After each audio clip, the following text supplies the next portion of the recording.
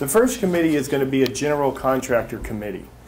And the goal of that committee is to develop a small business to become a general contractor that can bid on some of these projects that we uh, are actually working with general contractors now.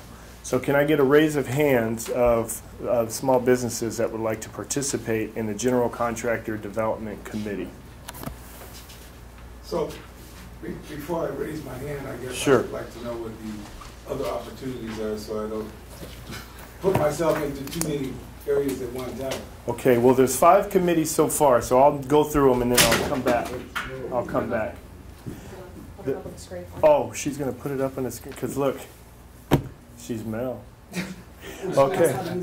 The second committee is a community collective committee, and that's a committee that's really designed to outreach with other uh, small business, business development membership organizations. One would be ABC, Association of Washington Business, NAMC, AGC, um, Black Builders, um, the uh, Hispanic uh, Chamber of Commerce, African uh, Chamber of Commerce, and other small business and multicultural organizations that really serve small business. The focus again is small business. So we're trying to find like-minded organizations that can provide valuable information that can benefit our membership. So that second committee is called the Community Collective.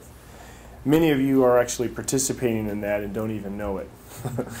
you, you, you share stuff that's going on in your organization and you see it end up on EIW. So whether you like it or not, you're participating.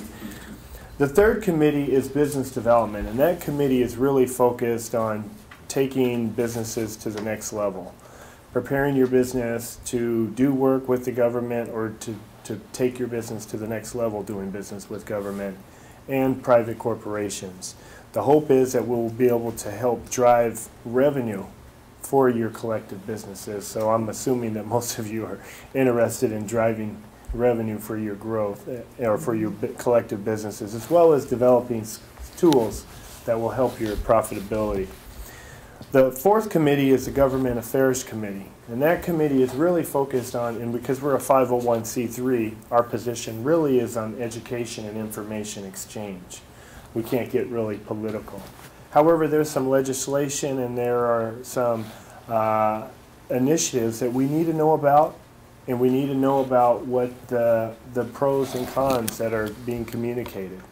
Um, and the final committee is professional development. And in that committee, we are in the process of developing a curriculum. We wanted to, before we finished developing the curriculum, we wanted to confirm that it was a, a class that would be worthy of our initial training. Um, so the first class, we were planning on designing a three-part estimating and bid preparation uh, curriculum, a three-part series.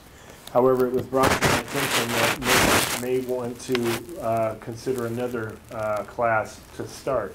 And it was brought up in the board that certifications may be one uh, subject that would be valuable to our members. Um, So out of those two classes, I'd like to get a raise of hands who would be interested in the estimating and bid preparation uh, uh, three-part series. Let me ask you, how often do they meet? This, the three-part series, it- all of them, each, do they all meet like once a month? what, the- there, well, actually, what I- my hope was today was to establish a group that wanted to participate in that, and then we would establish a leadership structure within each one of those uh, groups, and they would determine how often they would meet. And there is no requirement that we have to have face-to-face. We're in a technology age. We can share information via the web, email, and phone conversations. I prefer to meet face-to-face, but sometimes we're really busy, so we can continue to move forward.